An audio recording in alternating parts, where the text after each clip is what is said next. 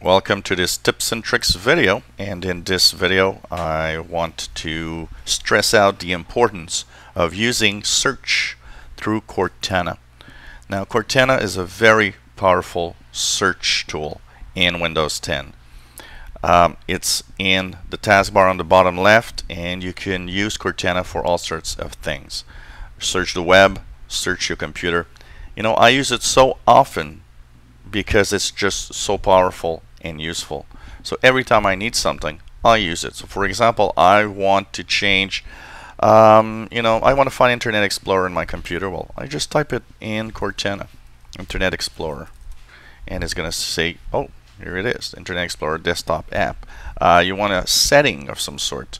Um, well, Wi-Fi settings. And here it goes. Change Wi-Fi settings. If I click on it, I'm transported directly to the Wi-Fi panel in the settings. Uh, you know, anything that you might want to find is available from here.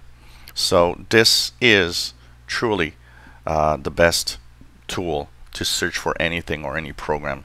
Um, every time I want to do something, I'll type it here. Every time I want to start a program that I don't have in my taskbar or on my desktop, I'll just type the few letters of the program and start it from here. So for example, if I want to start, uh, say, a um, uh, program for my radio stuff. Uh, I just type the few letters of the program and here it is, Fldigi Desktop App, which is a software that I use.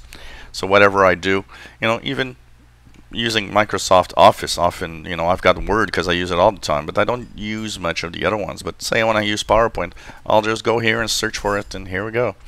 PowerPoint 2016. All I have to do is click and start it. So it's a great tool. It can uh, also search through your computer for files on your hard drive and um, it really is simply an amazing tool. It simplifies and makes things much faster when you want to use a, a program or find a file on your computer. So uh, check it out. It's extremely useful and this is today's tips and tricks.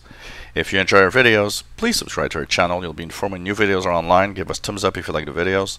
Hopefully, you will continue watching our channel. Thank you for following us.